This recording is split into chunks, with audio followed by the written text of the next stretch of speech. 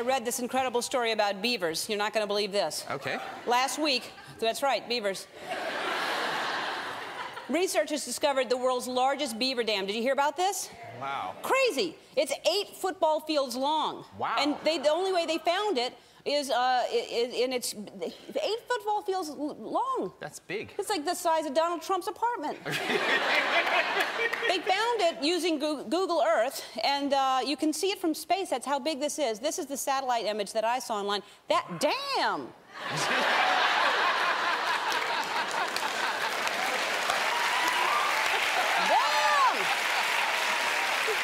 Isn't that amazing? That's huge. So then once they saw that, they went down and on the ground to photograph it, and look, look what they did, these beavers.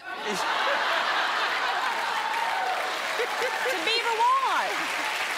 And then you can see, look, little beaver greeter. Ow. It's a beaver greeter. wow.